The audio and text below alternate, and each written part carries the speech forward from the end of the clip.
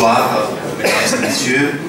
Euh, hélas, j'ai une mauvaise nouvelle pour commencer cette exposition, euh, parce que, euh, peut-être vous ne le savez pas, c'est la dernière exposition de Michael Werner Pospichil en fonction du directeur du Centre tchèque. on en a fait cinq ensemble. La première, c'était il y a 15, 15 ans déjà, pour le centenaire de l'assiette au beurre. Euh, Michael Werner Pospichil part à Prague.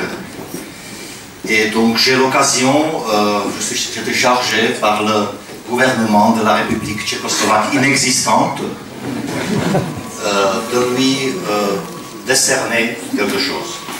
Tu me tiens le micro.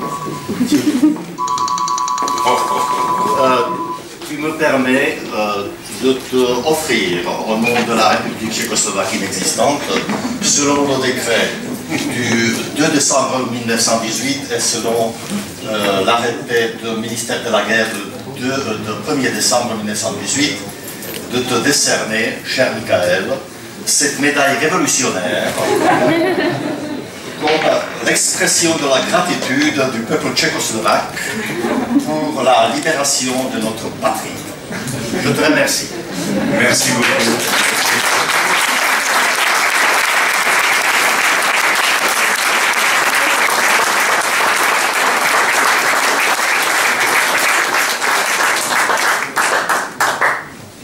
Voilà, c'est un grand départ d'un Tchèque de Paris vers Prague. Le but de cette exposition, à vrai dire, il y a le sens un peu opposé, on présente les œuvres de Tchèques, tchécoslovaques qui venaient, qui arrivaient à Paris durant le siècle dernier. Euh, en nombre très nombreux, incalculable. Euh, le centenaire de la création Conseil national tchécoslovaque dans murs. Euh, c'était l'occasion pour nous de présenter les œuvres des Tchèques, les peintres tchèques, les artistes qui, ah, euh, il faut le dire, partaient en France, en pays de liberté, de l'Autriche-Hongrie au XIXe siècle, de la République tchécoslovaque, de la première République tchécoslovaque jusqu'à Munich 1938. Après le coup d'État communiste en 1948, après l'invasion de notre pays par les troupes euh, du pacte de Varsovie en 1968, jusqu'à la révolution de velours en 1989. Euh, c'était euh, une espèce de terre promise pour les Tchèques qui trouvaient en France pas seulement le pays de la liberté politique, mais aussi la terre de liberté d'expression artistique. Euh, mais c'était pas seulement la terre promise pour les artistes, c'était aussi, comme Michael vient de dire, la terre promise pour les hommes politiques. Euh, à l'école, on, nous a appris un peu sèchement que la création de la Tchécoslovaquie, c'était l'œuvre de la trinité des fondateurs, le père Masaryk, qui suivait l'œuvre en de distance, le fils Benech, euh, qui euh, pratiquait de tout près euh, cette œuvre de la création du nouvel État, et le Saint-Esprit, Milan Rastislav Stefanik, l'astronome slovaque,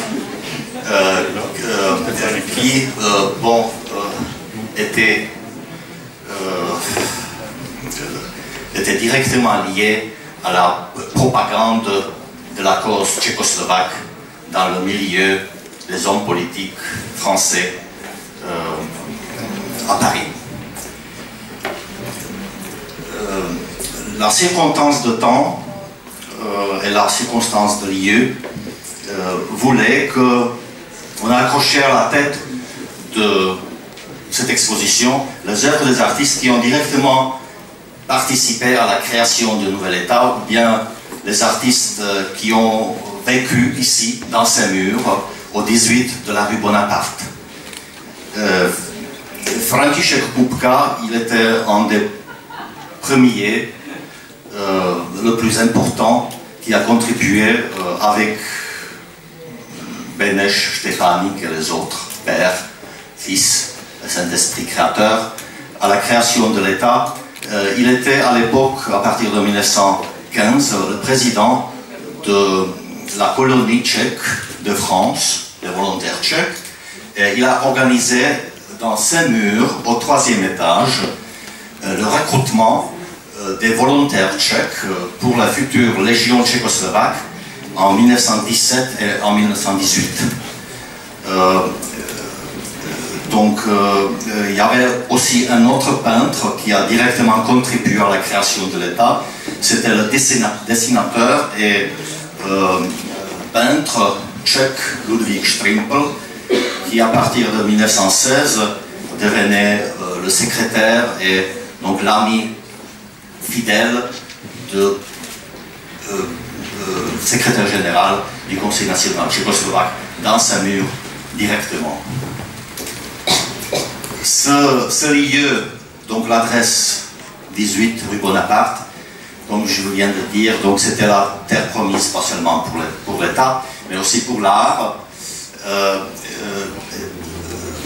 par exemple, au 13 rue Bonaparte, juste en face, il y avait euh, dans la galerie Povolowski à l'époque euh, lieu la première exposition de František Kupka, la première exposition personnelle parisienne de František en 1922 et dans la même galerie en 1929 était organisée la première exposition de Joseph Schima euh, un tout petit peu plus loin, au 31 rue Bonaparte, était organisée euh, euh, la première exposition d'Alphonse Mucha. Donc vous voyez bien que la rue Bonaparte, c'est un lieu de mémoire, pas seulement pour l'histoire tchèque politiquement dit, mais aussi pour l'histoire tchèque artistique, des beaux-arts j'ai parlé des tableaux euh, en tête de l'exposition. Donc je, vous présente ce, tableau, ces deux tableaux encore. Euh, František Matoušek, euh, un peintre abstrait tchèque, euh, vivait dans ces murs à partir de 1945 jusqu'à 1950. Il a déménagé à la maison tchécoslovaque, à la maison Masaryk, qui, était appelé comme ça, euh, euh, son école, euh, son école de, des arts appliqués de Londres, juste après la guerre. Il a resté ici avec son école jusqu'à 1950 où il devait quitter le lieu après l'expulsion, après l'arrêt de la maison Masaryk devenue communiste. Euh, dans, la même époque, Joseph euh, avait son bureau ici, dans sa fonction d'attaché culturel, d'attaché euh, de relations franco-tchécoslovaques d'après-guerre, ce qui concerne les beaux-arts. Il a fait en ses fonctions de très grandes expositions de la peinture tchèque à Paris. Et donc, il a abandonné euh, aussi en 1950, à l'époque où en Tchécoslovaquie, vous êtes au courant, euh, euh, donc les communistes ont pris définitivement le pouvoir. il est parti, mais peut-être on a une chance qu'il pouvait partir parce qu'il a resté à Paris, il pouvait reprendre sa peinture c'est le premier tableau de Shima qui été fait euh, après-guerre, en 1950. Donc, il sait, on voit bien, j'interprète ce tableau, c'est euh, euh, l'intérieur, ça s'appelle l'intérieur, l'intérieur de la rue Bonaparte, du communiste. Et donc, c'est la liberté, donc il a gagné la liberté par la, par la fenêtre en se retournant vers les cieux. Euh, donc euh, voilà le premier peintre de, de Névadé de 18 euh, rue Bonaparte. Je sais que je ne vais pas vous présenter tous les tableaux. N'ayez pas peur. Je m'arrête là. Je vous invite, bien sûr, pour voir tous ces tableaux, je vous invite de lire le catalogue. Je remercie le centre tchèque, ce qui me, ce qui me reste, bien sûr, de faire. Je remercie Antoine pour cette collaboration précieuse. Euh, je remercie euh, Jean-Gaspard Parénichek, bien évidemment. Je remercie mon équipe de Quartet, les centres tchèques, tous. Et donc, il me reste la dernière phrase à dire. Très longtemps, non, pas très longtemps, mais il fallait réfléchir. Ça sera quelle phrase la dernière Elle devrait être importante. Et je, je me suis dit, donc, ça ne pouvait pas être euh, euh, vivre la Tchécoslovaquie parce que le pays n'existe plus. Et donc, euh, j'étais surpris de constater que je ne peux, même pas dire vive la République tchèque. Parce que elle existe encore. Je peux dire une seule chose, une, seule phrase, je la dois à l'anarchiste František Kupka, je la dois aux surréalistes Doyen Eisler qui ont quitté définitivement le pays. Je la dois à Ota Misera qui s'est jeté de la fenêtre 100 mètres d'ici à l'hôtel rue Jacob. Il s'est suicidé parce qu'il ne pouvait plus revenir dans son pays en 1950 et il ne pouvait pas rester dans, son pays, dans le pays de son choix, en France, en même temps. Ah, il a trouvé sa liberté par le fait. Cette phrase, c'est euh, Vive la liberté. Je vous remercie.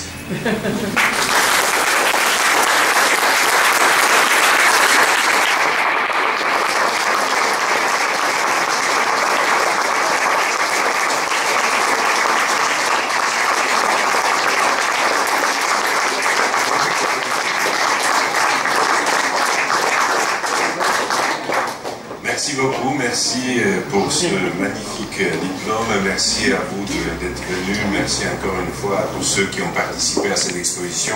Et je rappelle que cette fois-ci, euh, le cocktail se trouve à la carte, donc il faudra prendre l'escalier, descendre jusqu'à là où vous pouvez. Et c'est là où se trouvent des petites escalopes avec la salade de pommes de terre. Et, surtout, et surtout des bouteilles de magnifique vin de M. Recteur. Merci beaucoup et... Bravo